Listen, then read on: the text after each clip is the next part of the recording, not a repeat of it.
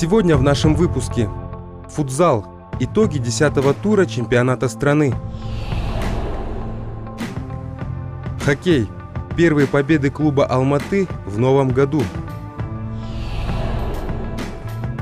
Единоборство. Молодые тайквандисты разыграли медали первенства страны.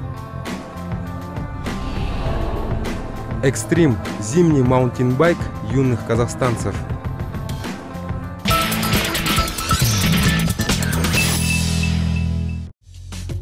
По окончании новогодних и рождественских праздников состоялся 10-й тур чемпионата страны по футзалу.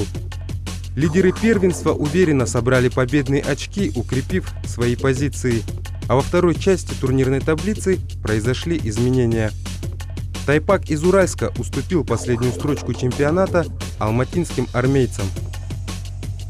Нужен хороший тренер им, побольше ребят опытных, более опытных. Молодые ребята, горячие. Как бы где-то спокойнее надо играть, а они немного горят. На домашней площадке ЦСКА принимал СК Юг из Тараза. Гости в этом сезоне рассчитывают на серебряные медали чемпионата. И имея в активе не лучшую разницу мячей, в каждой встрече стараются выжать голевой максимум. В этом году чемпионат намного сильнее стал, чем в прошлом. И уже не как раньше две команды там боролись за первое место и все. Сейчас первое место уже определено, но за второе, третье место три команды борются. Это БТА, Тулпар и мы. Я думаю, все примерно одинаковые команды. В первом матче гости более чем уверенно разобрались с армейской командой. На 10 точных ударов футболистов СК «Юг» ЦСКА смог ответить только дважды. Во второй игровой день картина для хозяев площадки сложилась еще более безрадужная. Первый тайм в первой игре было тяжело. Пока не забили первый, второй гол, было тяжело. А потом уже как забили, уже игра пошла. А вот сейчас вторую игру нам тренер поставил задачу не пропустить и как можно побольше забить. Потому что ну, у нас много пропущенных и надо было забивать. И мы выполнили задачу тренера. Вчера получилось, что разбегались, а сегодня полегче наоборот было, чем вчера. Все получалось, задумки тренерские, тактические, все схемы, все получались. Ребята выкладывались на 100%. 15 мячей влетели в ворота алматинцев. Покер на счету Николая Казакова и Рената Миранды. Дважды голкипера ЦСКА огорчил его коллега из Тараза Алешандро Родригес. Выездные игры 10-го тура для СК Юг стали пока самыми результативными в этом сезоне. Болельщики таразской команды могут быть довольны. Я во многих городах играл, ну, играл, был, и в Таразе самая сильная поддержка. У нас много народу приходит, болельщики от всего сердца болеют всегда. И самое больше у нас болельщиков, нам легче играть дома. А всем тяжелее. Также в десятом туре алматинские болельщики могли наблюдать поединок еще одного южно-столичного коллектива. БТА «Футзал» принимал Аят из Рудного. Гости, занимающие в таблице пятую строчку, приехали на встречу с банкирами с явным желанием отобрать очки у хозяев площадки. Но, в принципе, что касается вообще игры, то в первом тайме создали там массу моментов, не реализовали. Как правило, в таких моментах, в таких случаях появляется дополнительный стимул у игроков соперника. Раз у нас не получается игра, значит, сейчас где-то мы свои мячи можем забить. Поэтому такая нервозная, тяжелая игра получилась. В целом игра получилась хорошая, созидательная. Не хватило чуть-чуть, можно сказать, чуть удачи не, не хватило нам. Ну, как говорится, везет сильнейшим. Думаю, все еще впереди. Игра на самом деле получилась непростой. На перерыв команды ушли при счете 1-1. На мяч Каноненко, забитый уже на первой минуте, Аят ответил точным ударом Лопатюка. Ключевыми стали первые 10 минут второй половины, за которые усилиями Абдумавлямова и Халмухамедова БТА вышел вперед. И все-таки Аят мог сравнять счет. Дважды руднинские футболисты пробивали пенальти, но в первом случае великолепно сыграл Шамро, а во втором исполнителя подвело мастерство – 3-1 – непростая победа банкиров.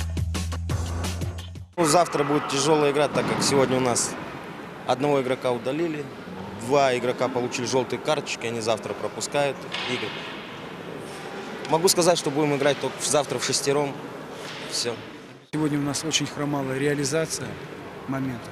И мы, не, кстати, мне показалось, что мы как раз не были готовы к этой вот борьбе. Хотели выиграть на классе. А у таких команд, у таких команд как раз на первое место выходит вот борьба характера, допустим, скажем так. Сегодня мы где-то в этом компоненте, может быть, уступили сопернику. Хотя мы массу моментов создавали, счет мог быть, конечно, и более крупный, мог и в другую сторону поменяться. Но вот сложилось так, как сложилось. Что будет завтра? Прогнозы – вещь неблагодарная. Нам нельзя ни в коем случае, если мы хотим бороться за высокие места, ни в коем случае нельзя дома проигрывать. Отдавать очки в своем зале при своих болельщиках. Во второй игровой день перед Аятом стояла очень непростая задача – сдержать хозяев поля в ограниченном составе. По сути, весь матч рудинская команда провела в шестером. До 11 минуты встреча шла по плану гостей. Открыв счет после удара Туртбаева, Аят ушел в глухую оборону, рассчитывая на контрвыпады. Но тягаться с БТА при прочих равных сейчас не просто любому коллективу. А при потере нескольких игроков ситуация попросту безнадежная. Пять мячей в створ ворот Смолина залетели еще до перерыва. И один во втором тайме. Очередная яркая победа банкиров. В первой игре рассчитывали выиграть, набрать очки. Чуть-чуть не получилось, где-то не хватило мастерства, где-то везения. И по объективным причинам у нас сегодня не играло 4 человека, и нам просто мы в пятером отыграли всю игру без замен. И как бы, поэтому и отсюда результат такой. А соперник, в принципе, ну, предсказуемо должен быть пятого играть, потому что очень мало людей. Семь сегодня полевых игроков, учитывая, что вторая игра, конечно, сложно было ребята. А команду БК хочу с победой поздравить своих ребят. Мы не имеем права, думаю, очки терять. Как бы там ни было, все-таки сейчас важнее всего для нас это результат. Чувствуется какой-то спад у нас в функциональном состоянии. Мы сейчас планируем выезд на сбор. Думаем, ребят, подтонизируем, вернем нужные кондиции, так необходимые, которые нам будут в течение двух месяцев предстоящих. По окончании 10 тура в чемпионате наступила двухнедельная пауза, после которой коллективы выйдут на финишную прямую в борьбе за медали. Чемпионат свой экватор миновал, но все самые сложные игры впереди. Достаточно сказать, что мы с Каюк в заключительном туре играем в Таразе, то со Скаю, с нашим непосредственным конкурентом.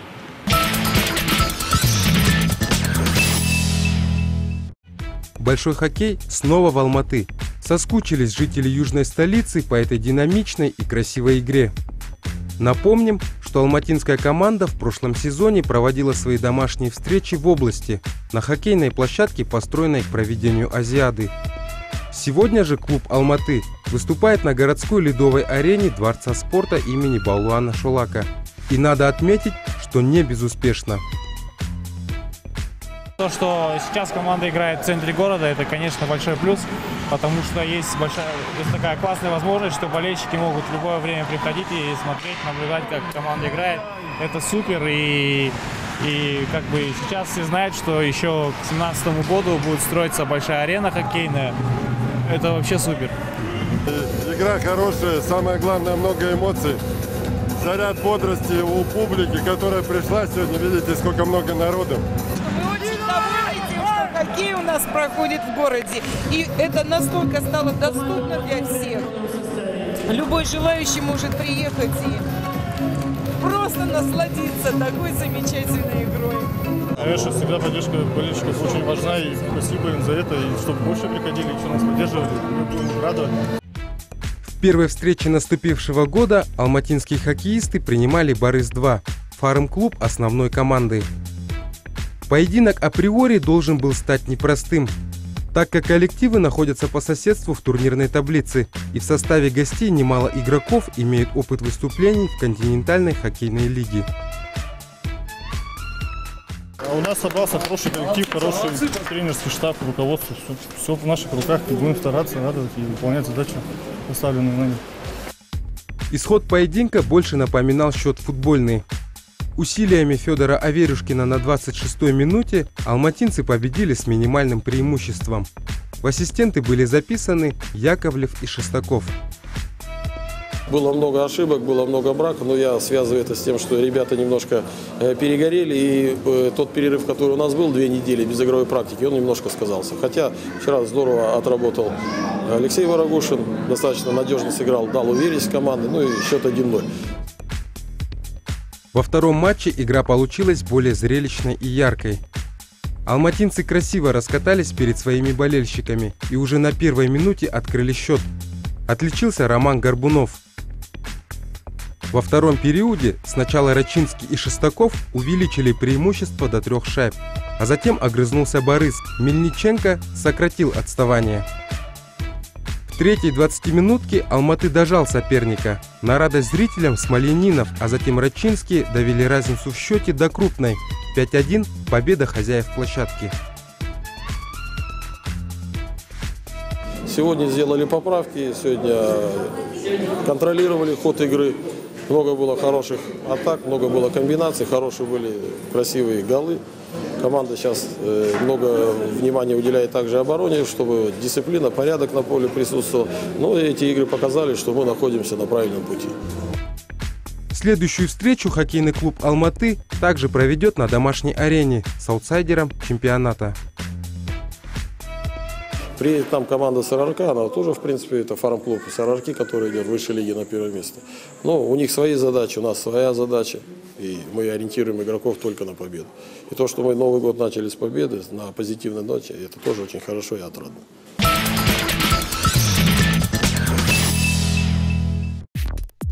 Не успели закончиться новогодние праздники, а казахстанские тайквандисты уже собрались на первый в этом году турнир. Мастера татами разыграли кубок почетного президента федерации и вместе с ним медали чемпионата страны среди юниоров. Но сегодня мы проводим, вот уже второй день, это турнир э, посвящен э, нашему основателю Федерации Тэквондо, нам Юлию Мироновичу. Он, слава богу, жив-здоров. Все. Это действительно человек, который в тэквондо начал развивать э, в Казахстане. Вот. Ну а действительно приехали команды из Киргизстана и России. Вот. Поэтому это у нас сегодня международный турнир, в рамках которого мы проводим чемпионат э, Казахстана среди юниоров. Прошлый год сложился для Казахстанской Федерации Тайквондо ITF довольно удачно. Главными стартами был чемпионат мира в Эстонии, где отечественные спортсмены завоевали достойное количество наград. В прошлом году было три чемпиона мира. Вот, э, было 12 э, призеров э, чемпионата мира вообще среди юниоров. И сейчас они все выступают и очень показывают хорошее вообще мастерство. И остальных участников заряжает на такой хороший уровень, высокий. И это самое главное. В Таллине было сложно. Мы заняли второе место по категории самообороны. Уступили основателям спорта корейцам. Вроде обидно, вроде не обидно. Я второе место на мире занял, но я недоволен этим. Я хочу стать чемпионом. А что не получилось там на мире? Немного не дотащил, не хватило физики. Роман Кабиров на мировом чемпионате остановился в шаге от золотой медали. Но обидное поражение только вдохновило спортсмена на будущие победы. В принципе, бой был такой, ну, бой был очень тяжелый. Э, первый раунд прошел ничью, второй раунд там, ну, буквально на пару очков я проиграл, кончилось время, ну, не успел немного. Проиграл, два судьи отдали ему, один мне, один ничью, два-один проигрыш. Он начал заниматься, и эти 5-10 лет, которые занимается, у него уже в голове отложилось, что это не только твои достижения, это достижения твоего тренера, там, твоего учителя, твоего мастера, как бы всей федерации, поэтому это не только его победа.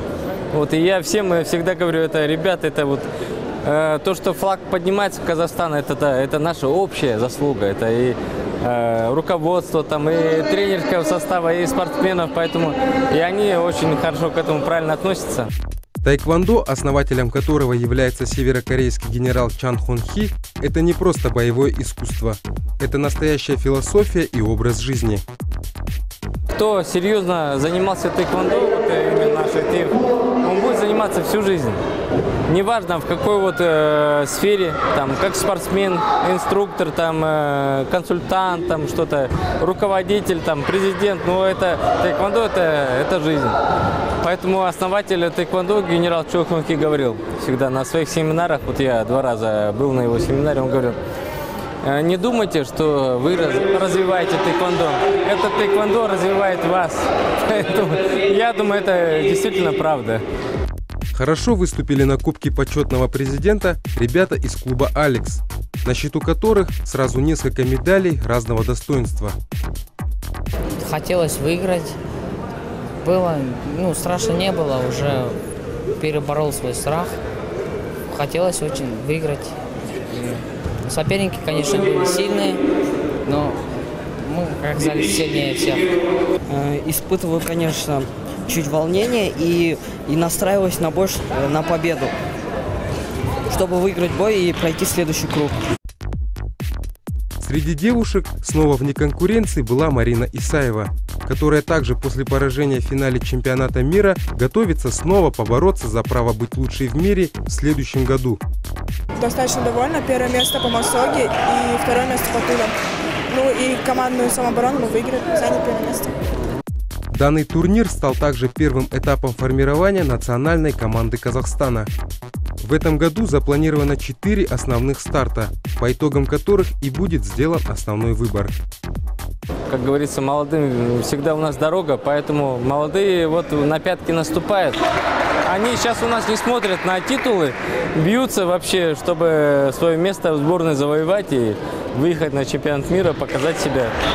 Непростые схватки турнира подарили спортсменам разные эмоции. Молодые ребята набирались опыта и мастерства, а более взрослые выполняли свою работу, которую необходимо сделать на отлично. Я еще и закончил школу сейчас в колледже, там вообще тяжело. Ну, приходилось как-то только с колледжа сразу на тренировки, с тренировок уроки и снова потом колледж, и вот такой вот круг зацикленный. Очень тяжело было. Мне очень было тяжело, потому что я на тренировках порвал мышцы. Ну, после Нового года пришел. Вроде не болели, но сейчас опять начались боли. Мне эти соревнования очень тяжело дались. Я показал, мне кажется, хороший результат с порванными мышцами. Я горжусь собой. Соревнования завершились, но не закончилась долгая дорога к золотым медалям и званию чемпиона мира. Впрочем, не каждый жаждет и сможет добиться подобных успехов, но каждый может найти толику своего времени, чтобы узнать, что же это все-таки такое искусство тайквондо.